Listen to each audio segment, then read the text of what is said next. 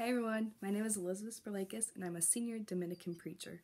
Even though we are away at the moment, um, that doesn't mean we can't come together as a community to pray. So we will begin this time of prayer as we begin all things in the name of the Father, and of the Son, and of the Holy Spirit. Amen. Just a few weeks ago, everything seemed to be normal as we walked through the halls of Rosary, spent time together with friends and family, and participated in sports, music, and club.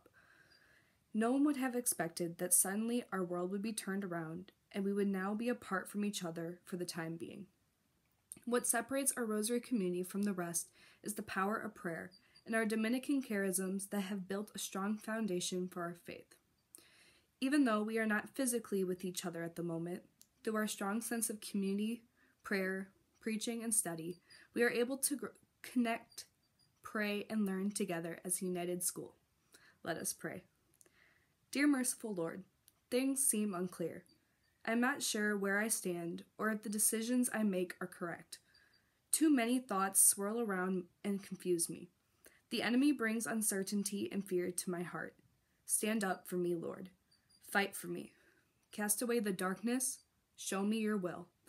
Bring me clarity and peace.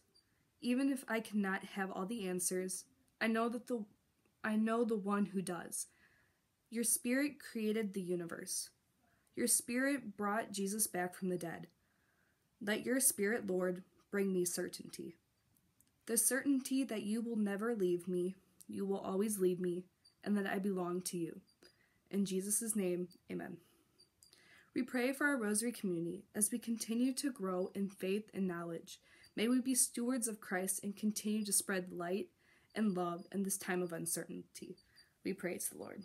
Lord, hear our prayer. We pray for all the students, faculty, staff, alumni, and Dominican Sisters of Rosary. May we all remain healthy and safe. We pray to the Lord. Lord, hear our prayer. We pray for all those suffering from illness or disease. May they find strength and comfort in our glorious physician.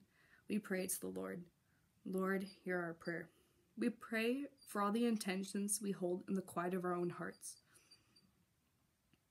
we pray to the Lord. Lord, hear our prayer. We bring all these things to God as we say our Dominican blessing together. May God Creator bless us, may God Redeemer heal us, and may the Holy Spirit enlighten us and give us all we need. In the name of the Father, and of the Son, and of the Holy Spirit, amen. Bye, everyone.